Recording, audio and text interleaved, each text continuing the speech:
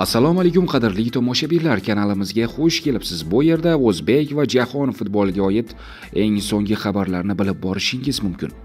Agarki kanalimizga a'zo bo'lmagan bo'lsangiz tezda a'zo bo'ling va bizni qo'llab quvvatlash uchun layk bosing. O'ylaymizki biz sizga yetkazib berayotgan xabarlar siz uchun manfaatli bo'ladi. Biz esa boshladik. Singapur murabbiyi o'zbekistonni hurmat qilgan holda aytishim mumkinki ertaga g'alaba uchun maydonga tushamiz. Barcha biladi o'zbekiston osiyoning eng kuchli jamoalaridan biri. Bizni kuchli qarama qarshilik kutyapti raqobatli o'yin bo'ladi ochko olishga harakat qilamiz.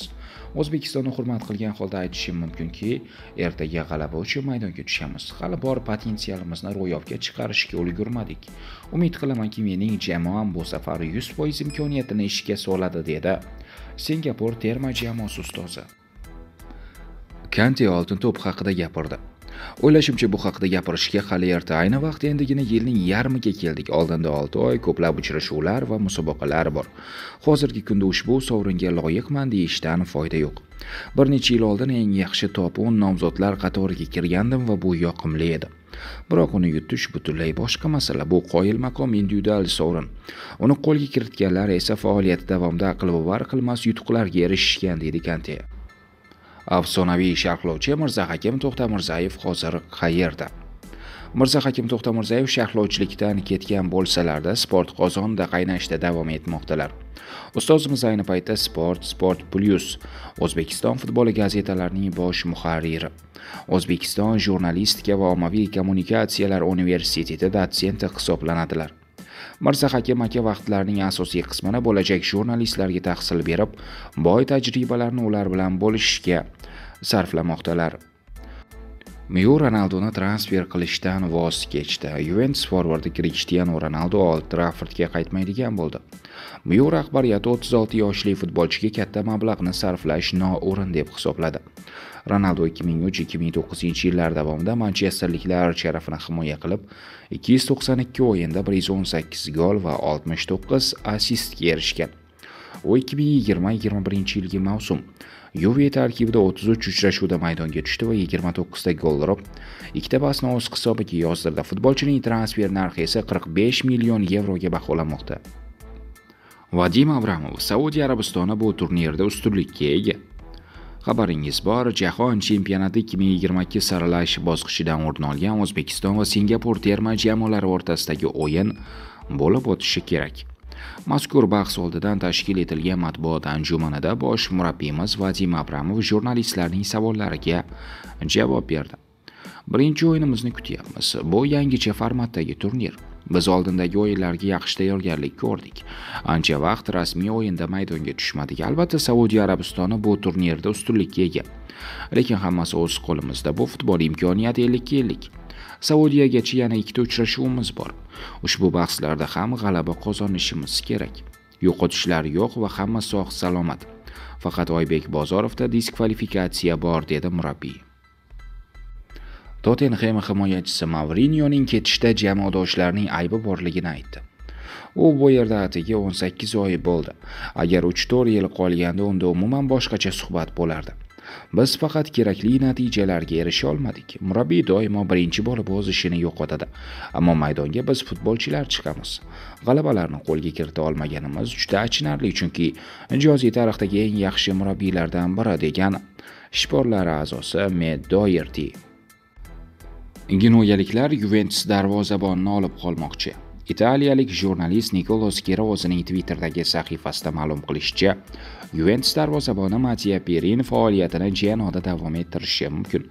Yuqoridagi manbaga ko'ra, Genuyaliklar rahbariyati 28 yoshli italiyalik posbonni o'z jamoalarida ko'rishmoqchi. Yaqinda tomonlar Milanda o'zaro uchrashib, ehtimoliy transfer tafsilotlarini muhokama qilishadi. Perin o'tgan mavsumni aynan Genoa safida ijarada o'tkazgan edi. Barsa o'z futbolchisiga boshqa jamoa topib berdi. Barselona yarim himoyachisi fransishko Trinkao kelasi mavsumni o'z yurtida o'tkazadigan bo'lib turibdi. portugaliyalik hujumkor futbolchini mamlakat chempioni sporting o'z safiga chorlamoqda bu jamoa 21 yoshli o'yinchini kelasi mavsum uchun sotib olish huquqsiz ijaraga olishga tayyorligini bildirmoqda. Fransishko o'z hamyurtlari taklifini qabul qilish orqali yetarli darajada o'yin amaliyotiga ega bo'lish barobarda chempionlar ligasining guruh bosqichida ham to'p tepish imkonini qo'lga kiritadi. Trinkao bragadan olingandan keyin barselona safida ispaniya chempionatida 28 ta uchrashuv o'tkazdi. U har bir uchrashuvda o'rtacha 25 daqiqa to'p tepdi. 2021 yilda eng ko'p tomoshabin tashrifi kuzatilgan jamoalar top 50 ligidan O'zbekistonning 3 klubi joy oldi. Germaniyaning transfer market portali 2021 yilda mamlakatlar yuqori ligalarda eng ko'p tomoshabin yig'ayotgan klublar reytingini keltirdi. Unga ko'ra, MLS chempionatida ishtirok etuvchi Atalanta United klubi tomoshabinlar tashrifi bo'yicha yetakchilik qilmoqda. aqsh klubining har bir o'yiniga o'rtacha 33733 nafar tomoshabin tashrif buyurmoqda. Ikkinchi o'rindan xitoyning guanjo klubi o'rin olgan bo'lib bu klubning har o'yiniga o'rtacha 28059 tomoshabin to'g'ri keladi. Muxlislar tashrifi bo'yicha uchlikdan rossiyaning zenit klubi ham joy olgan. Sankt peterburg jamoasi rossiya premyer ligasi doirasidagi har bir o'yinida o'rtacha 19726 tomoshabinni qabul qilgan. E'tiborlisi ro'yxatning dastlabki elliktaligidan o'zbekiston superligasining uchta jamoasini ko'rishimiz mumkin. Jumladan superliga joriy mavsumida har o'yinda o'rtacha 8115 tomoshabin to'plagan andijon klubi. 34 o'rinda qayd etilgan bo'lsa navbahor 7695 tomoshabin bilan 38 o'rinda nasaf esa 7137 tomoshabin bilan 48 o'rindan joy olgan Bell Yevro 2020dan keyin faoliyatini yakunlash haqidagi xabar rad etildi. Va Ancelotti bilan gaplashib olmoqchi. Garet Bellning Yevropa chempionatidan so'ng faoliyatini yakunlash haqidagi xabarlar o'z tasdig'ini topmadi deb yozmoqda italiyalik jurnalist Fabrizio Romano. Garet Bellning faoliyatini yakunlash haqidagi xabarlar asossiz bo'lib chiqdi. Uelslik futbolchi Yevropa birinchiligi yakunlangach faoliyatini yakunlash haqida o'ylamayapti.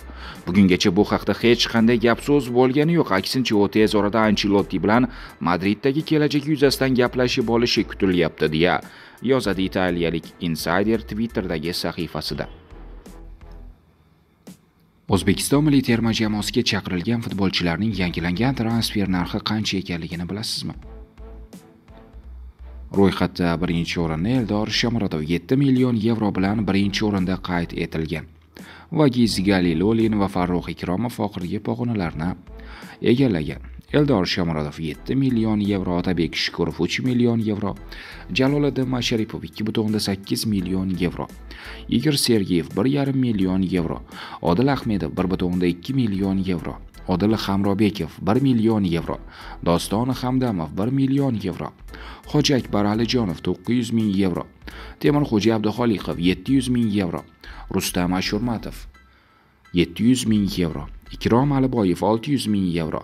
Shohruz norxonov 600 ming yevro. Islom qobilov 600 ming yevro.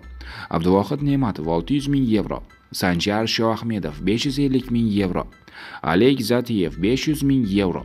Sanjar qodirqulov 500 ming yevro umar eshmurodov 500 ming yevro oybek bozorov 500 ming yevro islom to'xtaxo'jayev 450 ming yevro sanjar quvvatov 400 ming yevro abror ismoilov 400 ming yevro husniddin aliqulov 400 ming yevro ibrohim halil yo'ldoshev 350 ming yevro hojimat erkinov 250 ming yevro valijon rahimov 250 ming yevro vagiz galyulin 200 ming yevro farruh ikromov 200 ming yevro.